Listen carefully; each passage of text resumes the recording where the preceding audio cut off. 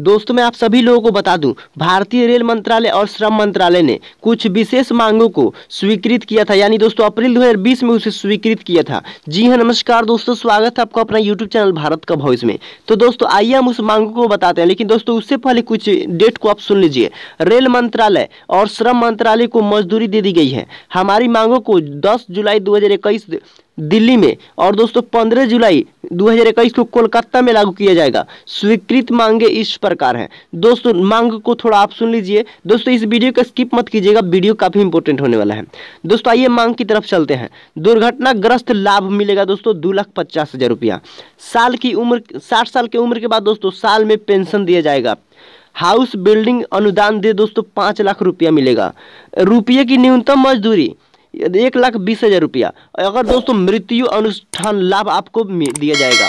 Duty पर मौत अगर होता है मतलब काम करते समय अगर किसी मजदूर की मौत हो जाती है तो उसको दोस्तों दस लाख रुपया मुआवजा भी दिया जाएगा।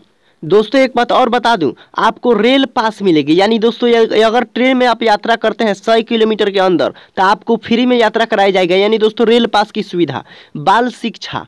दोस्तों, एक बात और बता दूँ चिकित्सा उपचार दोस्तों रहेगा रेल अस्पताल में। और दोस्तों, शारीरिक विकलांगता के बाद परिवार में एक सदस्य को नौकरी के लिए मतलब नौकरी भी दिया जाएगा दोस्तों। दोस्तों, बता दूँ कैजुअल वर्कर की दर बारह रुपये प्रति बैग होगी। और दोस्तों, रेल कैंटीन भी उपलब्ध कराया जाएगा।